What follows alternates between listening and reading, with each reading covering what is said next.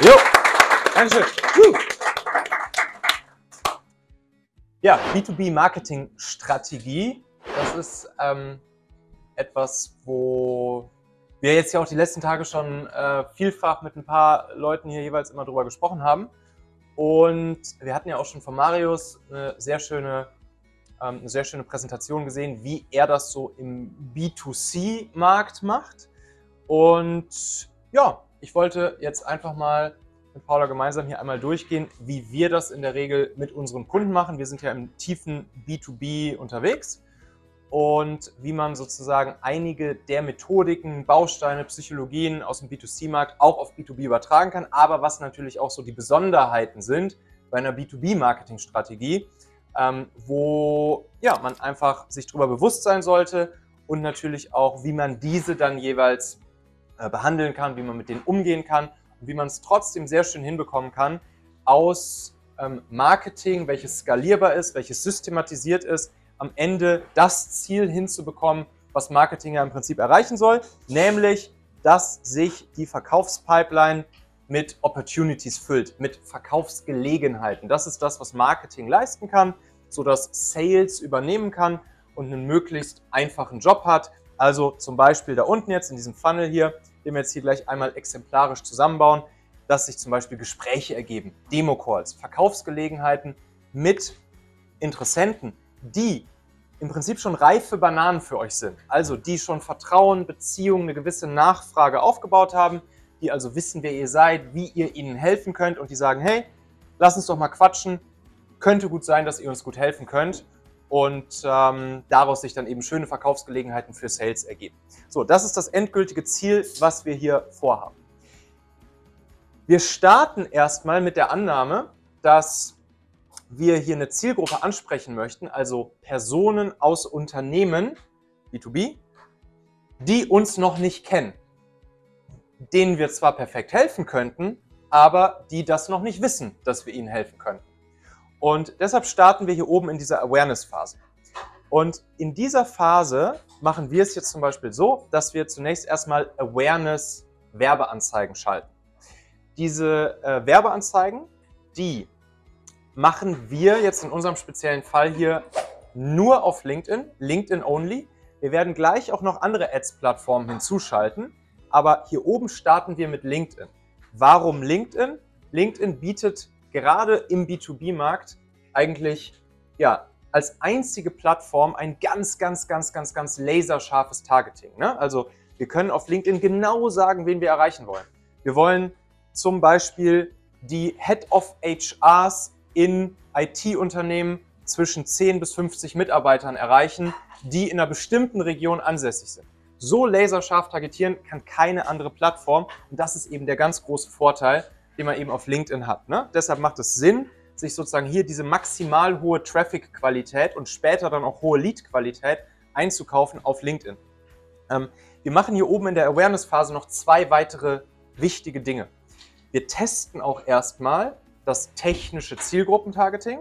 Das heißt, wir gucken, wie kann man exakt diese Personen, die ihr erreichen möchtet, die die exakte Zielgruppe sind, denen wir am allerbesten helfen können, wie können wir sie technisch targetieren, sodass wir das am günstigsten hinbekommen. Also wirklich das Zielgruppentargeting einmal austesten, verschiedene technische Targetings und auch die Ansprache testen wir dort. Also das Trigger-Symptom, womit wir dann nachher spielen und ähm, die richtigen Leute sozusagen in den Funnel erstmal reinholen, weil sie erkennen, ah, guck mal, das ist doch hier so ein Symptom, das kenne ich aus unserer Firma, das habe ich bei uns in der Firma auch regelmäßig und ab dem Moment haben wir ihre Aufmerksamkeit. Das sind erstmal die initialen wichtigen Ziele hier der Awareness-Phase. Und wir zeigen euch jetzt zu jedem dieser Bausteine, die wir gleich durchgehen, zeigen euch jetzt ein paar Praxisbeispiele, die Paula äh, ja, vorstellen wird. Das heißt, hier jetzt erstmal Awareness-Anzeigen, die mit dem Trigger-Symptom spielen. Genau, also was wir als erstes sehen, wenn wir durch den Feed scrollen, ist einfach das Creative. Und deshalb ist es da gerade bei der kalten Zielgruppe extrem wichtig, überhaupt das Creative so zu erstellen, dass wir halt einen Scroll-Stopper erstellen können und die Leute überhaupt erstmal stehen bleiben und dieser, dieses Bild auffällt. Das ist die, die Hauptaufgabe von dem Creative. Und womit wir sehr gerne arbeiten, was wir jetzt hier auch gemacht haben, sind sogenannte Plakat-Ads. Also, dass wir wirklich sehr plainer Hintergrund und dann einen, einen kurzen, prägnanten Satz drauf, wo die Leute einfach, den man einfach liest schon im Rüberscrollen und wo die Leute hängen bleiben. Entweder was, womit sie halt relaten können oder so ein typischer Glaubenssatz und wo sie sagt, ah ja, warte mal, das bin ich. Oder hier, genau, ist halt von 1 und 1 DSL, die Deadline naht und das Internet fällt aus. So dieses klassische, oh ja, kenne ich, okay, warte mal, was ist das? Das gucke ich mir an.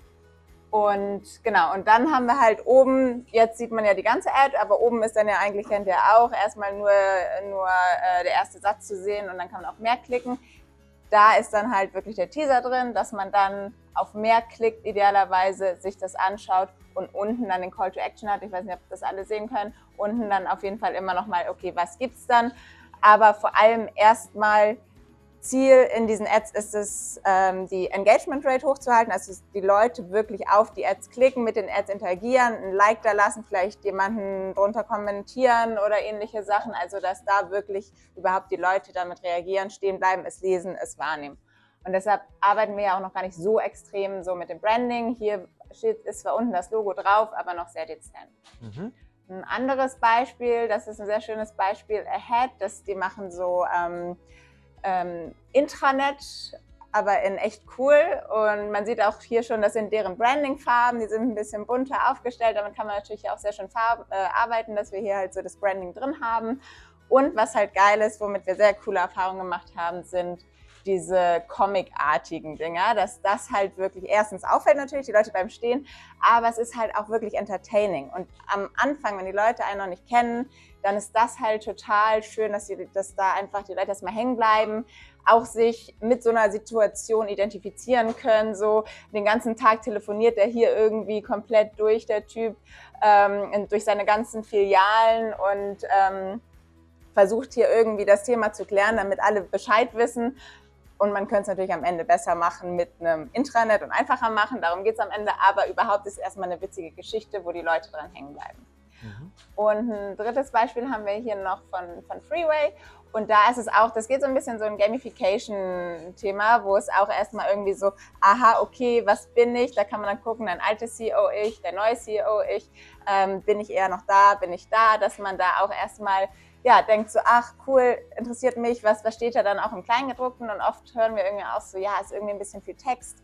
Ähm, bleiben da wirklich die Leute hängen? Ja, gerade das, wenn die Leute es interessiert, oben was Spannendes steht, es erstmal auffällt, die Leute es lesen, dann ist natürlich die Dwell-Time auch höher und das ist wieder super für den Algorithmus. Dadurch werden die Ads auch ein bisschen günstiger und ähm, ja, damit haben wir sehr gute Erfahrungen gemacht. Yes. Also noch gar nicht so auf die Brand gehen oder auf das Produkt, sondern erstmal triggern. Genau, triggern mit dem Symptom, das die Leute aus ihrem Arbeitsalltag kennen. Wenn wir das verifiziert haben, wenn wir also wissen, welche Symptome funktionieren am besten und äh, auch welches Zielgruppentargeting ist das günstigste, um die höchste Traffic-Qualität, nahezu 100% Lead-Qualität nachher herzustellen, dann machen wir die nächste Phase auf. Und die nächste Phase ist dann die Lead-Generation-Phase. Also, in dieser Phase wird dann angefangen, der Zielgruppenbesitz aufzubauen. Sprich, die Personen aus der exakten Zielgruppe, denen wir perfekt helfen können ähm, und die ein Symptom haben, das wir schon verifiziert haben und die sozusagen im technischen Targeting drin sind, das wir schon äh, verifiziert haben, welches super günstig für uns ist, von diesen Leuten wollen wir dann die Leute in unseren Zielgruppenbesitz, also in unsere Kontaktliste, in unser CRM führen sodass sie dort sich erstmal als grüne Bananen einfinden können. Ne? Ähm, grüne Bananen landen dann hier in unserem Zielgruppenbesitz, in unserem CRM. Sie werden noch nicht am nächsten Tag sofort anklopfen und sagen, schönen guten Tag, ich will jetzt gerne kaufen. Manchmal passiert das sogar, aber das ist natürlich nicht die Regel. Wir sind hier im Long Sales Cycle B2B unterwegs. Aber wichtig, dass wir uns hier schon mal diesen Zielgruppenbesitz aufbauen, sozusagen uns damit unabhängig machen von LinkedIn, von Google, von Facebook und Co. Und das ganze weitere Marketinghaus danach auf unserem eigenen Grund aufbauen. Das wichtigste Asset jeder Firma, das allerwertvollste ist es eben, den eigenen Zielgruppenbesitz mit den Personen zu haben, denen wir irgendwann mal helfen können. Wir machen das jetzt hier in der Regel erstmal simpel durch, ähm, durch PDFs, Checklisten, Guides, Handbücher, zeigt Paula gleich ein, äh, ein Beispiel für, was dann natürlich schon laserscharf exakt auf dieses Symptom, auf dieses Problem abgestimmt ist, was wir oben in der Awareness-Phase gemessen haben. Das ist ganz wichtig. Viele gehen, viele gehen raus und machen sofort Lead-Gen mit einem PDF oder man kann natürlich auch mit einem äh, Video-Sales-Letter oder ähnlichen anderen Lead-Magneten rausgehen und, und, ähm, und machen sich erstmal Riesenarbeit damit, das Ding zu erstellen, wissen aber noch gar nicht, ob das Ding überhaupt den Nerv der Zielgruppe trifft und ähm, ein Problem, ein Symptom anspricht, das auch wirklich relevant für sie ist. Aber das haben wir halt durch die Awareness-Phase vorgemessen. Hier mal ein Beispiel dafür. Genau, wir haben da so eine, so eine schöne Vorlage auch, nach der wir da gehen. Meistens, also wir haben jetzt hier den Leitfaden, eine Checkliste, sowas funktioniert immer gut. Was halt wirklich gar nicht gut funktioniert, ist halt so White Paper oder Report.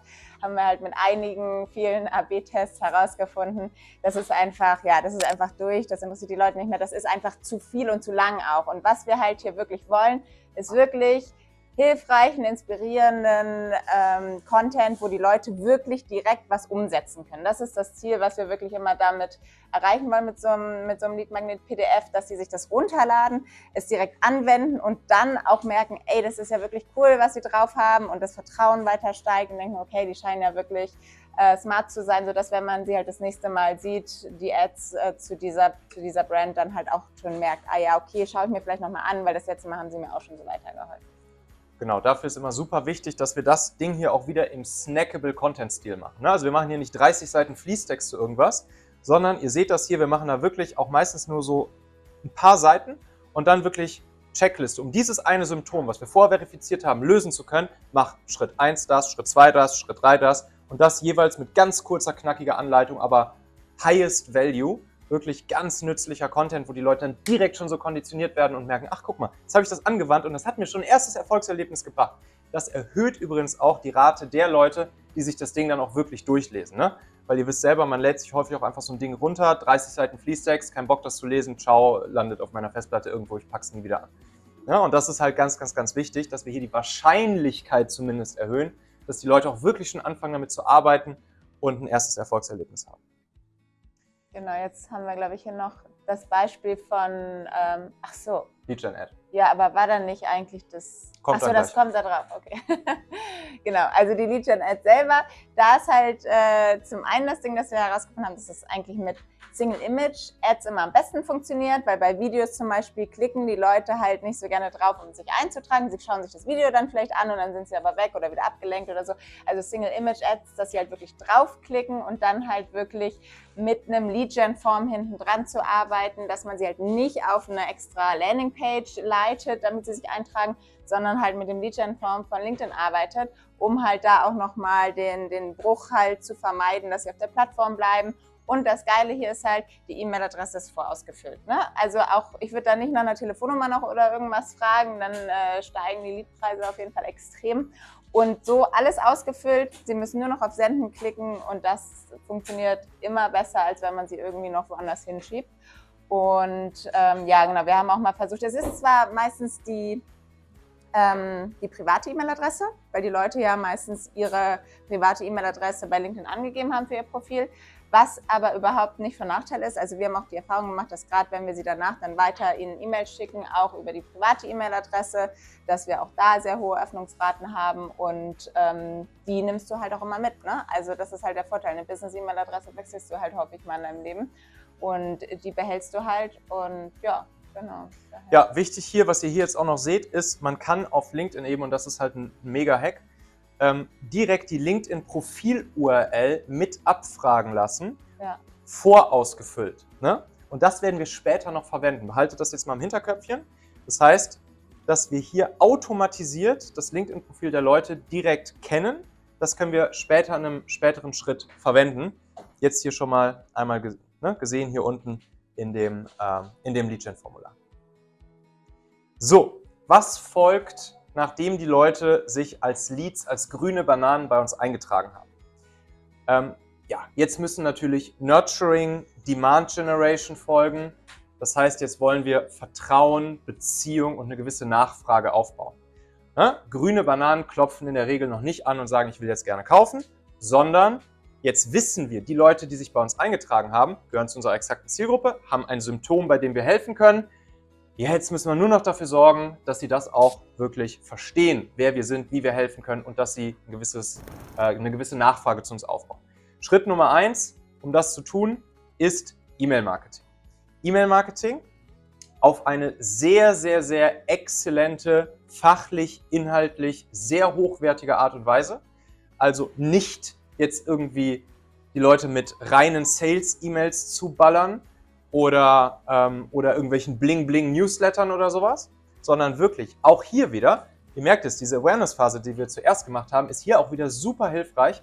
Welcher Winkel, welches Trigger-Symptom, welcher Schmerz war wirklich der, wo die Leute drüber reingekommen sind, wo sie am meisten interagiert haben. Und genau zu dem Thema liefern wir jetzt E-Mails in einer bestimmten Abfolge. Am Anfang nach der Eintragung, so in den ersten zwei Wochen ein bisschen höhere Frequenz. Danach geht es dann weiter nur noch in einer wöchentlichen Frequenz. Ähm, aber wichtig eben auf exakt dieses Thema hilfreiche, nützliche, wertvolle, fachlich exzellente Inhalte liefern, wo ähnlich wie im Leadmagnet PDF auch die Leute merken, hey, wenn ich diesen einen Tipp hier umsetze bei mir im Team, bei mir in der Firma, bei mir im Unternehmen, mit meinen Mitarbeitern, mit meinem Chef, whatever, äh, dann habe ich da schon ersten Erfolg. Und so bauen die Leute dann eben weiter Vertrauen, Beziehung, Nachfrage zu der Brand, zu dem Unternehmen und natürlich auch zu der Person auf, die zum Beispiel dann auch die E-Mails aus dem Team rübersendet. Ähm, wir haben hier mal ein Beispiel mitgebracht.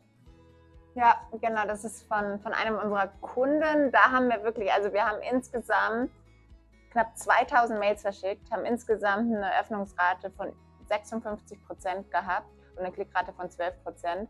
Und das ist so eine E-Mail-Serie, von der Michael gerade gesprochen hat, dass das halt acht E-Mails sind, die wir dann einfach nach Eintragung peu à peu raussenden und da halt wirklich auch weiterhin wieder diesen wertvollen, inspirierenden, hilfreichen Content mit einbauen und auch mit so einer persönlichen Note halt, ne? dass wir da halt auch schauen, dass man da irgendwie, also wir merken es ja auch bei unseren Mails selber, dass die Leute manchmal gar nicht realisieren, dass es halt wirklich eine, eine automatisierte Mail ist und darauf antworten so, ähm, als, als ob sie halt davon ausgehen, dass man ihnen halt persönlich geschrieben hat. Und und diese Öffnungsrate kommt halt wirklich auch wieder dazu, dadurch zustande, dass wir es schaffen, ihnen wirklich wieder diese, diesen weiteren Mehrwert zu geben, dass sie denken, hey, jetzt konditioniert sind darauf, wenn ich von denen eine Mail bekomme, dann scheint das guter Inhalt zu sein, also öffne ich sie. Und ähm, genau, und daher kriegen wir diese Öffnung. Und öffne dann auch die nächste und die nächste und ja, die, nächste, genau. die nächste Mail wieder. Ne? Weil wenn ihr einmal gelernt habt, wenn ich von dem oder von dem Unternehmen oder von der Person im Unternehmen eine, eine reine Sales-Mail bekomme, die, mich, die, die gar keinen relevanten Inhalt für mich liefert, dann werde ich die nächste Mail halt nicht mehr öffnen. Kennt ihr selbst.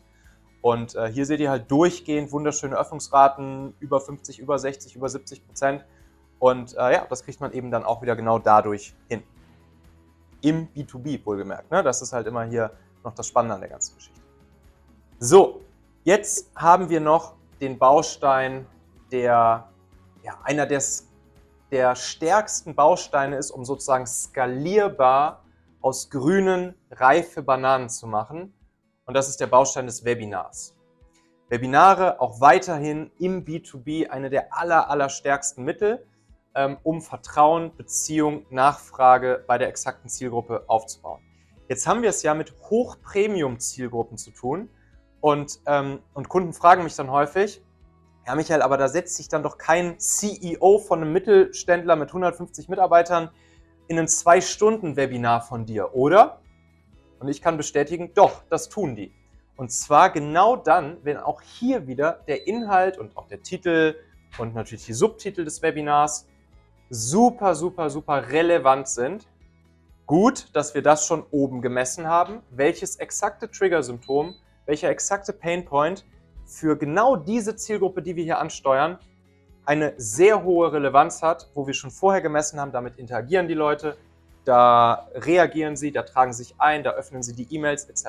Und dann kommen die Leute auch ins Webinar rein. Dann gibt es einen bestimmten Webinarablauf, äh, wie man das Webinar dann aufbauen kann, ähm, damit auch die Retention Rate im Webinar hoch bleibt. Es gibt einige sehr, sehr, sehr schöne ähm, Tricks, wie man sozusagen die, die Opt-in-Rate fürs Webinar erhöhen kann, wie man die Show-Up-Rate erhöhen kann und auch wie man hinten raus die, äh, die, die Terminbuchungsrate, also die Conversion Rate, äh, optimieren kann. Können wir, wenn ihr wollt, gerne nochmal jeweils tiefer darauf eingehen, habe ich auch ein paar YouTube-Videos zu gemacht.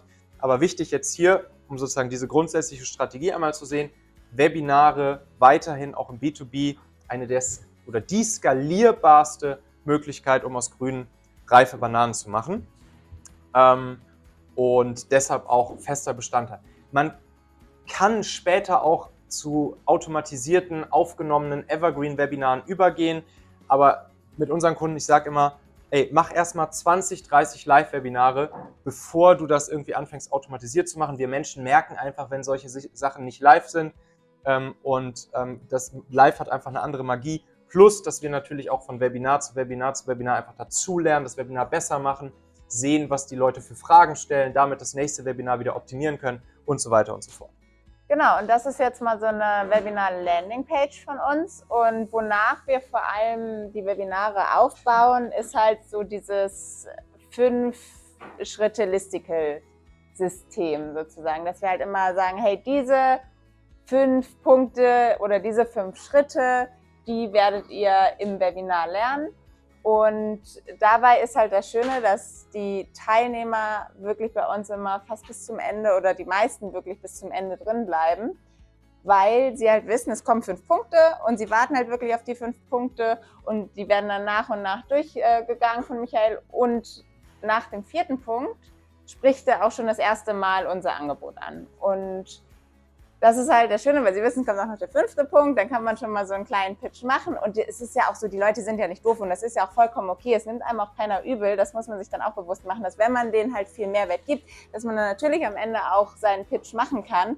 Vor allem sind die Leute ja, also manchmal fragen sie auch schon so, hey, weißt was bietet ihr denn an? Was kann ich denn kaufen? Und daher, wenn man denen halt irgendwie anderthalb Stunden da richtig coole Tipps gibt, dann dann ähm, ist es auch vollkommen okay, wenn man dann halt da auch erzählt, was man, was man auch Gutes anbieten kann. Und was auch noch ein guter Tipp ist, ähm, Fragen machen wir zum Beispiel auch immer erst am Ende, dass wir sagen, hey, haut alle eure Fragen in den Chat. Wir beantworten aber alle eure Fragen, aber erst zum Ende. Auch ein richtig schöner Tipp, damit die Leute bis zum Ende drin bleiben. Also das kriegen wir immer wieder mit, wie sie dann halt wirklich ähm, auf ihre Fragen warten und nach zwei Stunden irgendwie immer noch 80 Prozent der Leute drin sind und warten, bis ihre Fragen beantwortet werden. Und ja, dann immer noch eine schöne Fragerunde zustande kommt. Ja. So, um hier unten in dieser Conversion-Phase noch weitere Verstärker hinzuzugeben, können wir Remarketing hier natürlich auch wunderbar nutzen. Ne? Ähm, und jetzt ist spannend, dass wir hier unten weiterhin Remarketing auf LinkedIn natürlich machen. Auch das LinkedIn Audience Network mit hinzuschalten, dadurch dann auch sichtbar auf anderen Plattformen werden. Und in diesem Remarketing-Layer hier unten auch Google Ads mit hinzuschalten. Und was ihr dann macht, das ist wirklich Magie im B2B, weil ihr dann nämlich das laserscharfe Targeting nahezu 100% Lead-Qualität von LinkedIn kombiniert mit der breiten Sichtbarkeit, der breiten Skalierbarkeit der Anzeigen bei Google, also im Google Ads-Universum, ne? wie zum Beispiel Google Display Network, äh, YouTube etc. Weil normalerweise würde man auf Google ja eben nicht dieses laserscharfe Targeting hinbekommen, aber indem ihr eben nur die Leute retargetet, die ihr vorher aus LinkedIn mit dem laserscharfen Targeting reingeholt habt und die Leute dann auch im Google-Universum retargetet, wisst ihr, ihr seid breit sichtbar im gesamten Internet, im gesamten Internet für die Leute sichtbar, aber nur mit den Leuten, wo ihr genau wisst, aus LinkedIn rausgeholt, dass sie exakt, exakt in eure Zielgruppe passen. Und das, diese Kombination, das ist halt wirklich eine ja, sehr, sehr, sehr schöne Kombination. Ähm, und mit diesen Remarketing-Ads kann man dann natürlich auch wieder verschiedene Ziele verfolgen. Einerseits kann man das Webinar beispielsweise füllen, andererseits kann man natürlich auch Educational Content geben, der mehr dann schon auf Lösungsbewusstseins- und Anbieterbewusstseinsebene stattfindet, ne, während das da oben ja alles auf, ähm, auf Trigger-Symptom- und Problembewusstseinsebene stattfindet, kann man dann da unten voll Content auch liefern rund ums Thema Lösungs- und Anbieterbewusstsein und so dann auch natürlich Termine, Gespräche, Demos, Verkaufsgelegenheiten äh, aus dem Remarketing äh, erhalten. So. Ja, und so sieht das dann aus, wenn das ganze Internet voll gepflastert ist mit Michael. Äh, genau, also hier, ja, ne, ihr, sehr gut, so, so muss das sein. Äh, ne, also nochmal für alle, die es vielleicht noch nicht ganz auf dem Zettel haben, ne, Display Network, Google Display Network sind im Prinzip ja alle Webseiten dieser Welt zu jeglichen Themen, die sich eben da die, die Bannerplätze an das Google Display Netzwerk verkaufen. Und äh, ja, und so kann man dann eben auch auf ganz vielen anderen mh, hm, Webseiten und Plattformen eben für die Zielgruppe sichtbar sein, als jetzt nur auf LinkedIn. Ne? Und so erweitert man sozusagen das Ads-Game, das Performance-Game dann auch auf andere Plattformen und natürlich YouTube und so weiter und so fort äh, spielt dann da auch noch eine Rolle. Jetzt wollen wir noch zwei weitere Hebelchen hinzuschalten, die eigentlich auch nur auf LinkedIn funktionieren und die die Wahrscheinlichkeit nochmal enorm erhöhen, dass ähm, Personen relativ schnell auch mit euch ins Gespräch kommen können. Ihr erinnert euch noch, als wir hier die Lead-Gen-Phase aufgemacht haben und uns gerade das Lead-Gen-Formular angeguckt haben, haben wir ja die LinkedIn-Profil-URL automatisiert mit abgefragt. Das heißt, wir wissen jetzt ganz genau, was ist das für eine Person, wie ist, ihre LinkedIn, wie ist ihr LinkedIn-Profil, wo arbeitet die, welche Position hat die, welche Rolle hat die, etc. Und was man jetzt machen kann, ist ähm, die Person natürlich einfach hinzuzufügen. Auf LinkedIn die Person einfach hinzufügen. Nach einem bestimmten Schema, also Kontaktanfrage senden mit der sogenannten Schuhverkäufernachricht und dann so in so ein Five Messages Framework übergehen, will ich jetzt nicht zu tief drauf eingehen, gibt es auch andere YouTube-Videos von mir zu. Aber wichtig zu verstehen ist, wir gehen jetzt hier auch auf LinkedIn in den Direktnachrichtenaustausch mit Personen, die wir nicht einfach kalt anquatschen, so wie das auf LinkedIn massenweise passiert und massenweise kalt Nachrichten rausgeschickt werden, sondern das sind grüne oder sogar schon angereifte Bananen. Also Leute, die sich aktiv bei uns eingetragen haben und gesagt haben, hey, dieses Thema, das ist relevant für mich, schick mir dazu bitte Infos rüber, hier sind meine Kontaktdaten. Und wenn man dann die Leute anschreibt und ihnen und sie ein bisschen weiter vorqualifiziert und guckt, ob sie wirklich offen für Hilfe sind und so weiter und so fort, dann ist das natürlich ein ganz anderes Gespräch und die Leute bedanken sich und freuen sich teilweise einfach, dass man sich meldet und man kommt super locker, flockig, überhaupt nicht salesy, sondern auf eine super nette Art und Weise ins Gespräch. Und daraus, allein daraus können sich schon relativ schnell auch mit einer höheren Wahrscheinlichkeit äh, Gespräche ergeben. Hier nochmal so ein Beispiel. Genau, da haben wir auch ein Beispiel mit der, mit der ersten Nachricht, die wir dann rausschicken, wenn sich jemand eingetragen hat. Hi Björn, schön, dass du dir die LinkedIn Ads, die LinkedIn Ads Checkliste runtergeladen hast. Ich wünsche dir viel Freude und Erfolg damit. Wenn du mal Fragen zu LinkedIn Ads hast, weißt du ja, wo du mich findest. Und das ist einfach nochmal so ein bisschen einladend, aber nicht zu pushy. Und da hat er auch gleich drauf geschrieben, hallo Michael, vielen Dank, dass du solchen Content bereitstellst. Sobald ich mir das in Ruhe angeschaut habe, gebe ich Feedback und äh, wenn ich Fragen habe, melde ich mich. Also auch total nett darauf reagiert. Und da haben wir wirklich so ein ähm, Prinzip der, wir nennen das immer der Schuhverkäufer-Nachricht. Und äh, ja, kennt ihr wahrscheinlich auch, wenn ihr irgendwie so in einen, in einen Schuhladen geht und guckt euch da um und dann kommt irgendwie ein Verkäufer an und sagt, hey, ähm, braucht ihr Hilfe? Und dann sagt, nee, nee, danke, ich schaue nur, okay, ihr wisst ja, wo ihr mich findet. So.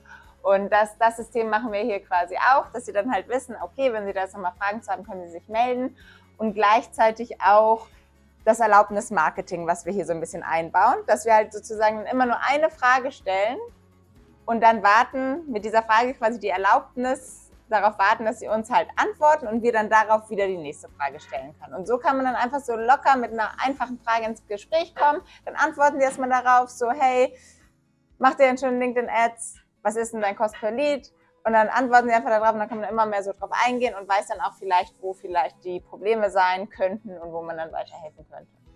Ja, die weiteren Fragen, das ist dann dieses Five Messaging Framework. Ähm, kann ich euch eine Vorlage für schicken, wie man sozusagen diese fünf Fragen super easy aufbauen kann. Ähm, ja, und für alle, die jetzt halt das Video sich im Nachhinein angucken, kann man das auch bei uns im Downloads-Bereich natürlich runterladen. Ne?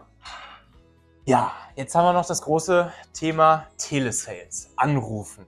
Ne? Ganz beliebtes Werkzeug natürlich im, im B2B. Und auch das darf hier natürlich in solch einem Funnel nicht fehlen. Allerdings, ganz, ganz, ganz große Empfehlung. Wenn die Leute sich gerade eingetragen haben als grüne Bananen bei euch und euch noch nicht kennen, aber ihr wisst schon, ja, ihr könnt ihnen vielleicht helfen, nicht sofort fünf Minuten später anrufen. Ihr, das würdet ihr selbst nicht wollen. Ne? Ihr habt euch irgendwo eingetragen bei irgendeinem Anbieter den ihr noch nicht kennt und fünf Minuten später klingelt das Telefon und der ist dran. Dann würde ich auch sagen, hey, was soll das? Äh, ne, ich habe mich jetzt hier gerade nur eingetragen. Aber wir haben die Erfahrung gemacht, wenn ihr so 21 Tage bis vier Wochen wartet und in dieser Zeit die Leute ja schon eure wertvollen E-Mails bekommen haben, euch im Retargeting im gesamten Internet gesehen haben, da auch wieder hilfreiche, wertvolle, inspirierende Inhalte bekommen haben, die Brand schon kennengelernt haben, den Anbieter, die Person dahinter besser kennengelernt haben. vielleicht sogar schon bei euch im Webinar drin war, dann anzurufen nach 21 Tagen ist ein kompletter Gamechanger, wo die Leute dann auch sagen, hey, ja, cool, ich sehe seh euch ja überall, ne? so, das ist dann halt, ne? Wie das gesagt, der, auch. Genau, das ist dann halt der Opener. Dann kommt häufig sowas, ja, genau so wie ihr das macht, ähm, will ich das auch, genau. Und dann ist das Gespräch natürlich direkt viel offener, viel herzlicher. Man kennt sich halt schon ein bisschen, man hat schon ein bisschen Beziehung, Vertrauen, Nachfrage aufgebaut. Und dann macht Telesales natürlich auch total Sinn. Wir sind natürlich weiterhin im Long Sales Cycle B2B unterwegs. Deshalb steht hier auch, bis eine Person, die euch heute noch nicht kennt, da unten landet bei einer Verkaufsgelegenheit, wo sie Beziehung, Vertrauen, Nachfrage zu euch aufgebaut hat und sagt, hey, lass mal sprechen, kann gut sein, dass jetzt genau der Bedarf da ist und ihr uns helfen könnt, vergehen halt häufig auch einige Monate. Manchmal sind es zwei Tage, manchmal sind es aber auch zwei Jahre, wo die Leute sich in eurem Zielgruppenbesitz befinden. Aber im Schnitt kann man sagen, so Normalverteilung wäre irgendwas so zwischen drei bis neun Monate, von hier oben nach da unten durchzugehen. Und, und dadurch füllt sich dann einfach konstant die Pipeline. Ne? Von oben, Personen, die euch noch nicht kennen, werden zu grünen Bananen, werden langsam aber sicher genurtured zu reifen Bananen und es ergeben sich Verkaufsgelegenheiten. Wenn man das einfach kontinuierlich, konstant macht, dann hat man da halt eine schöne ja, B2B-Marketing-Strategie, die einfach dafür sorgt, dass sich das CRM, die Verkaufspipeline kontinuierlich jeden Tag füllt, da von oben nach unten Leute durchkommen und Sales am Ende einfach ja, einen sehr, sehr, sehr leichten Job hat und perfekt aus Marketing übernehmen kann.